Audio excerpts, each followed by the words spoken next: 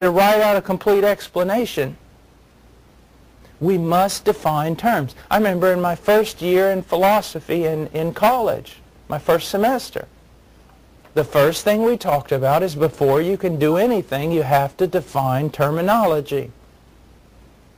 Because if we're both talking about epistemology and we have two different definitions for it, we're not going to get on very well in our debate. We've got to define our terms. And this is, look at what we see here. We know love by this. By what? By God's Word. By God's example. God is love. Yes. Okay.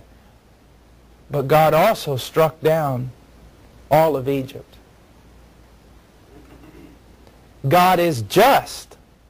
Yes, but he also pardoned Rahab. You see? So if you're going to talk about the love of God, you can't go to Oprah or Joel Osteen. You've got to go to Scripture. Okay? So now he says, we know love by this, that he laid down his life for us. I've written here countless men of literature, poets, and scholars alike have long attempted to both define and illustrate the nature of love.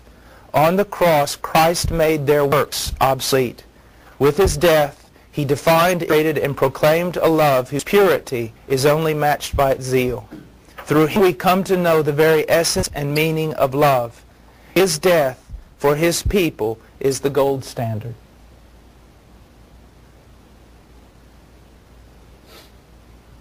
You know, one of the things that after I became a Christian that really, some answers that, that came was this. I would sit there in philosophy class and I would get so mad. I mean, I was a drunken heathen, but I would get mad because I'd hear all these people talk about all this virtue and all these things. But I'd sit there and go, okay, show it to me. Part of it I used just to justify my own wickedness. But anytime someone started talking about, you know, the virtue of this or the virtue of that or what is true love and what is virtue and what is morality, anytime someone came up with some kind of beautiful thing that they wrote down, I'd say, yeah, but show it to me.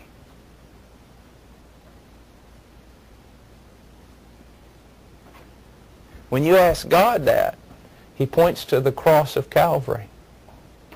I'll show it to you. Here it is. Herein is love. This is it. You want to know what it looks like? This is what it looks like.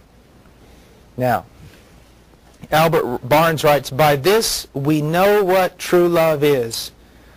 We see a most affecting and striking illustration of its nature. Charles Spurgeon writes, All sorts of sacrifices may be taken as proofs of affection, but the relinquishment of life is the supreme proof of love which nobody doubts. Thomas Manton, there was power discovered in the creation when God made us like himself out of the dust of the ground, but love in our redemption when he made himself like us. The person that was to work out our deliverance was the eternal Son of God. That God who owes nothing to man and was so much offended by man and that stood in no need of man, having infinite happiness and contentment in himself, that he should come and die for us, whereby perceive we the love of God.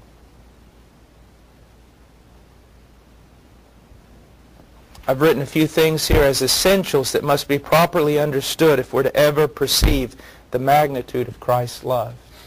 These are things that are absolutely essential. One, the infinite greatness of the one who died. On the cross, it was not man for man, but God for man. The Creator condescends to die for the creature. All right. Now, in your preaching, you don't have much time to do this if you're preaching a week revival. You don't have much time to do this if you're preaching for your entire life in the same church. But you must labor toward giving the people a high view of God. They will never understand the love of God unless they have a high view of God.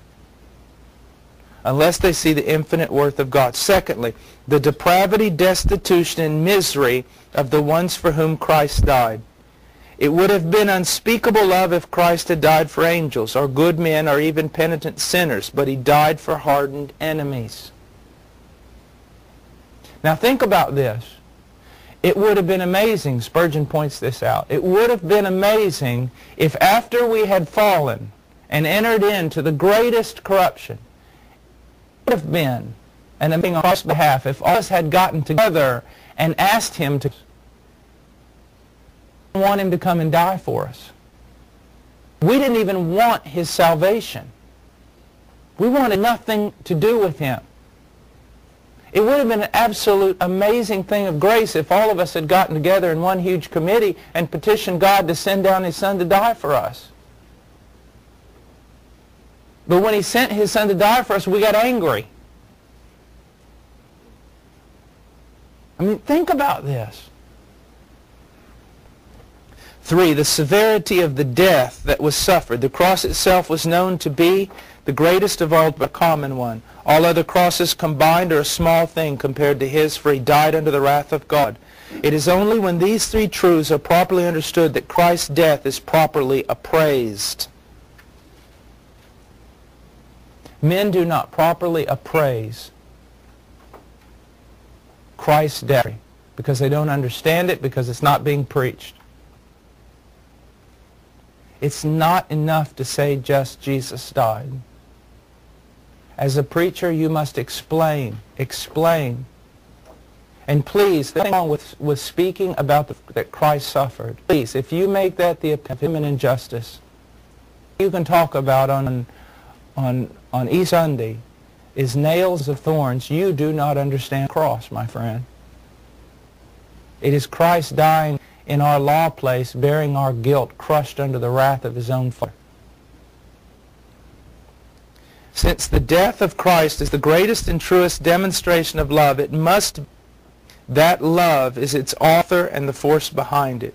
It was not human merit or virtue that moved Christ to give himself so freely, but it was unmerited and unconditional love. Now,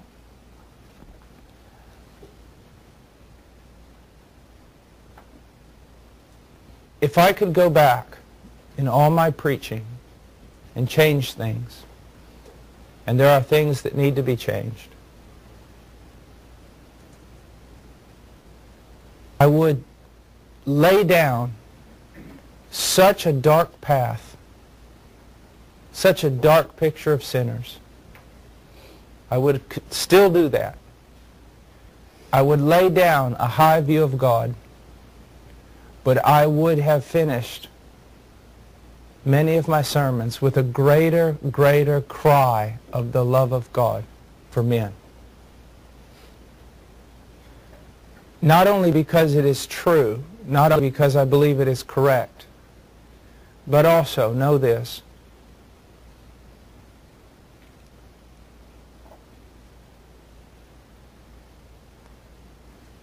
accusations against us that we speak too hard about man. But those accusations will be erased if after we have done so, we will speak much about the love of God for men, with men to come to Christ. Do that. Do that. Don't make simply preaching against sin your end. Make it the means to an end to convince men of their need of God, and then assure men of the power of Christ to save. Much of this I learned uh, honestly while I was in Holland because I saw the right thing